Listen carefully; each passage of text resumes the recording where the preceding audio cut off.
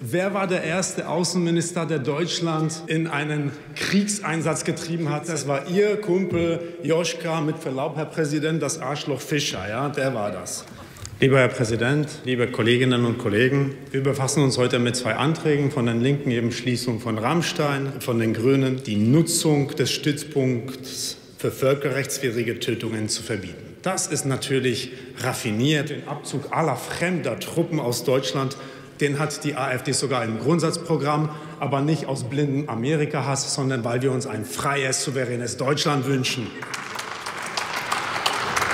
Aber liebe Grüne, seien Sie mir nicht böse, es ist eine pure Heuchelei, dass gerade Sie hier so einen Antrag stellen. Wer war der erste Außenminister, der Deutschland in einen Kriegseinsatz getrieben hat? Das war Ihr Kumpel Joschka, mit Verlaub, Herr Präsident, das Arschloch Fischer, ja, der war das. Und, Herr, Herr, Kollege, das und, geht so und nicht. Damals, ja, und damals. Das, das, geht so nicht. Das war ein Zitat von der Stadtfischer, wissen Sie ja selbst.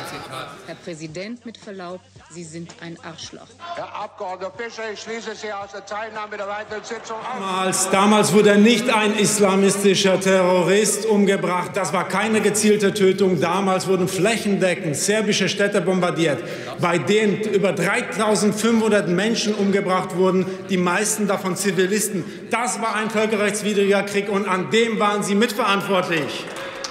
Und heute stellen Sie hier Anträge, nachdem die Amerikaner einen Terroristen gezielt getötet haben, der Unterstützer der Hisbollah im Libanon war, der Hamas im Gazastreifen, der Taliban im Afghanistan, der zigtausende Menschen in Syrien auf dem Gewissen hat. Die EU führte ihn als Terroristen und in Israel heißt er der gefährlichste Feind Israels. Und seine Milizen sind nicht nur die Exporteure des Terrors im nahen Ausland, sie sind die wichtigste Stütze des Mullah-Regimes im Iran. Ja, mit dem Sie und Ihre Kollegin Claudia Roth so gerne sich treffen und fotografieren lassen. Das ist das Regime, wo die Kollegen von der SPD nicht gratulieren zu 40 Jahre Revolution und Terror. Diese Milizen haben 1500 Menschen, gerade letzten Herbst, 1500 Menschen im Iran erschossen, nur weil diese Menschen auf die Straße gegangen sind.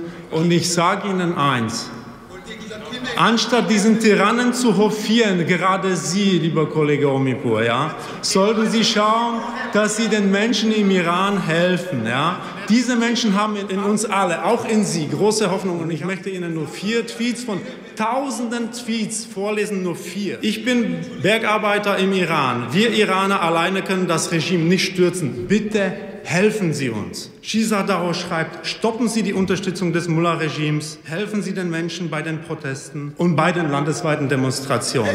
Psyfly sagt, wer mit dem iranischen Regime verhandelt, hat Blut an den Händen.